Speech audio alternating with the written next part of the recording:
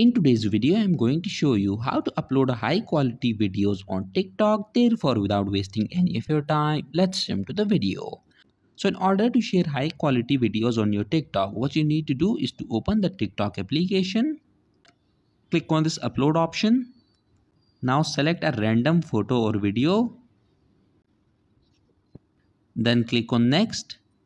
Click on more options. Scroll down and here you will see this option allow high quality upload. So all you have to do is to enable it. Once you have enabled it you will be able to upload high quality videos on tiktok. So that was it for this video and i'll see you guys in the next one. Peace out